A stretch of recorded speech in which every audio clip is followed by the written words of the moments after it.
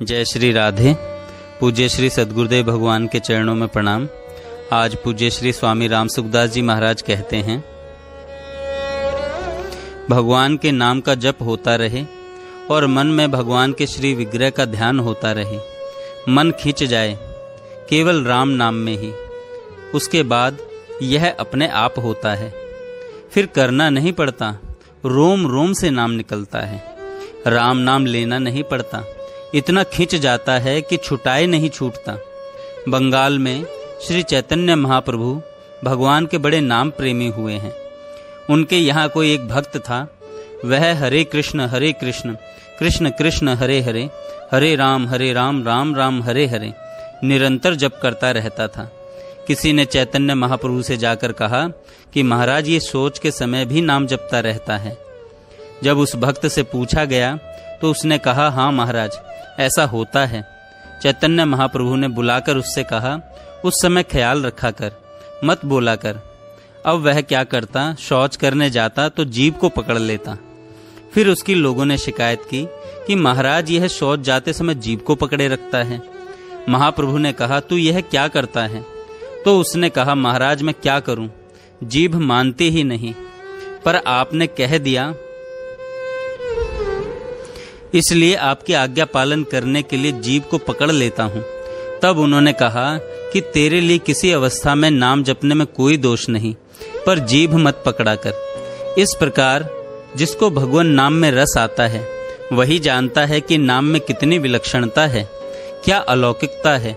लोगों की शिकायत होती है कि मन लगता नहीं, जप होता नहीं, पर जो हरदम ही नाम जपते हैं रात में, दिन में उनके हरदम ही नाम जप होता रहता है। ऐसी ही बात अर्जुन की आती है। अर्जुन के सोते समय कृष्ण कृष्ण नाम का उच्चारण होता रहता था। इसी प्रकार एक बार अर्जुन जब सो रहे थे तो वहाँ नारद जी, शंकर जी, ब्रह्मा जी सब आ गए। बड़े बड़े संत इकट्ठे हो गए। भगवान भी आ गए। अर्जुन के रोम रोम से उच्चारण नाम का होता रहता था। सहजा नाम सिमरदा है। मुख से ही नहीं, रोम रोम से भगवान नाम का उच्चारण होता है। गोरखपुर के पास ही बरहज गाँव में एक परमहंस जी महाराज रहा करते थे। उनके शिष्य का नाम था श्री राघव दास जी। वे उत्तर प्रदेश के गांधी कहे जाते थे। उन परमहंस जी महाराज के शरीर को छुआ जाता तो ओम का उच्चारण होता था। एक बार पहलवान राम मूर्ति जी उनसे मिलने के लिए गए। परमहंस बाबा के पैर की अंगुली व अंगूठे से जप हो रहा था। उन्होंने पहलवान से कहा, अंगूठे को हिलने से रोको, परंतु वे अंगूठे को रोक नहीं सके। तो कहा कि तुम्हारे में जितना बल है, उससे ज़्यादा बल तो बाबा के एक अंगूठे में है। नाम महाराज का कितना विलक्षण प्रभाव है। वह प्रभाव आदर पूर्वक जपने वालों के सामने प्रकट होता है। बाकी दूसरे लोग क्या जाने? लोक लाहु परलोक निबाहु। राम नाम इस लोक और परलोक में सब जगह काम देता है। इसलिए गोस्वामी जी कहते हैं, मेरे तो माए बाप दो आखर, र और म, ये मेरे माँ बाप हैं। संसार में माता पिता के समान रक्षा करने वाला, पालन करने वाला, हित करने वाला दूसरा कोई है ही नहीं। गोस्वामी जी कहते हैं कि हमारे तो दोनों अक्षर माता पिता हैं। हमारा पालन करने वाले जो माँ बाप का भक्त होता है, उस पर भगवान राज़ी हो ही जाते हैं। राम नाम से भगवान मिल जाएँ, दर्शन दे दें। लोक में परलोक में सब जगह ही वह निर्वाह करने वाला है। लोक में जो चाहिए, वह देने वाला चिंतामणि है और परलोक में भगवत दर्शन कराने वाला है। कई ऐसे आदमी देखे हैं, जो दिन भर मांगते रहते हैं, घूमते फिरते हैं, परंतु उनका पेट नहीं भरता। ऐसी दशा में वे भी अगर एकांत में राम राम करने लग जाएँ तो प्रत्यक्ष में उनकी भी ठाठ लग जाएगा। अन्न, जल, कपड़े आदि किसी चीज़ की कमी रहेगी नहीं। अब नाम जप करते नहीं तो उसका क्या किया जाए? नाम जप नाम जप करके देखा जाए तो भाग्य खुल जाता है। विलक्षण बात हो जाती है। जीते जी भाग्य में विशेष परिवर्तन भगवान नाम से होता है। इसमें कोई संदेह की बात नहीं।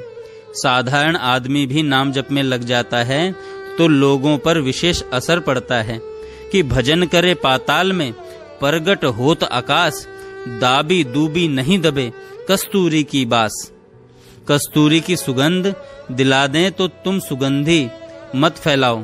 कस्तूरी को सौगंध दिला दें कि तुम सुगंधी मत फैलाओ तो क्या वह रुक जाएगी? सुगंध तो फैल ही जाएगी। इसी तरह से कोई चुपचाप भी भजन करे और किसी को पता ही न लगने दे तो भी महाराज, यह तो प्रकट हो ही जाता है। उसकी विलक्षणता, अलौकिकता दिखने लगती है। लोगों पर असर पड़ने लगता है, क्योंकि भगवान का नाम है ही ऐसा विलक्षण। इसलिए लोक और परलोक दोनों में लाभ होता है।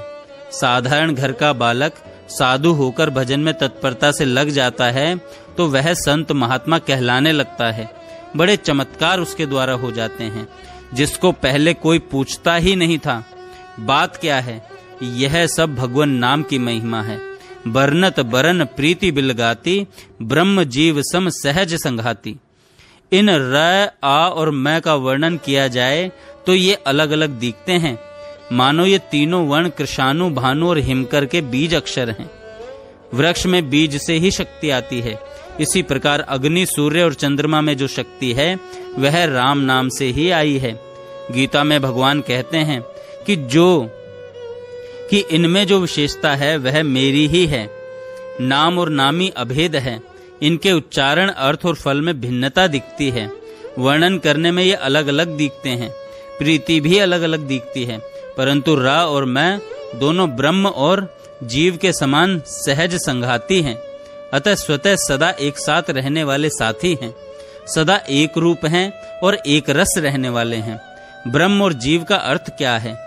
ममे वांश, जीव लोके जीव भूत सनातन।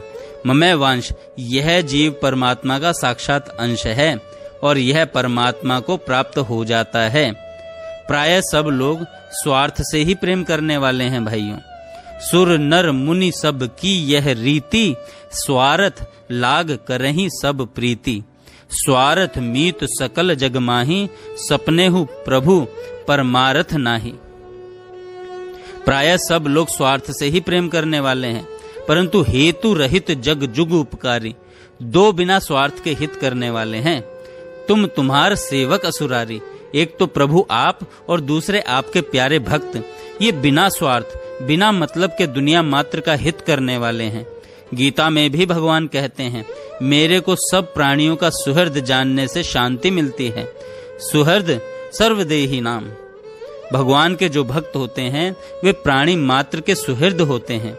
दुनिया का हित कैसे हो, ऐसा भगवान का भाव निरंतर रहता है। इस तरह, भगवान के प्यारे भक्तों के हृदय में भी दुनिया मात्र के हित का भाव निवास करता है कि उमा संत कई इह ही बढ़ाई। मंद करत जो करई भलाई। अपने साथ बुरा बर्ताव करने वाले का भी संत भला ही करते हैं। इसलिए नीति में देखा गया है कि ऊख को कोलू में पेरा जाए तो भी वह मीठा ही, मीठा रस सबको देता है। ऐसा नहीं कि इतना तंग करता है तो कड़वा बन जाऊँ, वह मीठा ही निकलता है, क्योंकि उसमें भरा हुआ रस मीठा ही है। ऐसे ही संत महात्माओं को दुख दें तो भी वे भलाई ही करते हैं। क्योंकि उनमें भलाई ही भलाई भरी हुई है। यह विलक्षण बात है कि भगवान स्वाभाविक ही सबका हित करने वाले हैं। भगवान का भजन करने से, मन लगाने से, ध्यान करने से, भगवान का नाम लेने से, भजन करने वालों में भी भगवान के गुण आ जाते हैं। अर्थात वे विशेष प्रभावशाली हो जाते हैं। नाम जब से उनमें भी विलक्षणता आ जाती है। नर नारायण सरिस सुभ्राता, जग पालक विशेष जंत्राता ये दोनों अक्षर नर और नारायण के समान सुंदर भाई हैं। ये जगत का पालन और विशेष रूप से भक्तों की रक्षा करने वाले हैं। जैसे नर और नारायण दोनों ने तपस्या कर दी करी थी, साथ में रहते थे। साथ में ही रहते थे, लोगों के सुख के लिए, आनंद के लिए, और वे सुख शांति से रहे। इसी बात को लेकर बद्रिक आश्रम उत्तराखंड में तपस्या करते हैं। इसी तरह से नाम महाराज भी सबकी रक्षा करते हैं।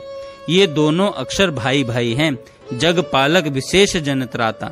मात्र जगत का पालन करते हैं और जो भगवान के भक्त होते हैं, उनकी विशेषता से रक्षा करते हैं।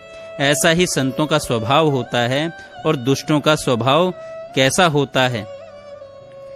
बयरु अकारण सब काहू सो, जो कर हित अनहित ताहू सो। हित करने वाले के साथ भी वे विरोध करते हैं, पर भगवान भक्त भगवान के भक्त सबका हित करते हैं और अपना अहित करने वालों पर भी वे विशेष कृपा करते हैं। भैया, धनवंता सोई जानिए जा पे राम नाम धन होए। इसलिए कृपया भगवान का नाम जपें। जय श्री राधे। जय श्री राधे। जय श्री राधे। पूज्य श्री सदगुरुदेव भगवान के चरणों में प्रणाम। जय श्री राधे। पूज्य श्री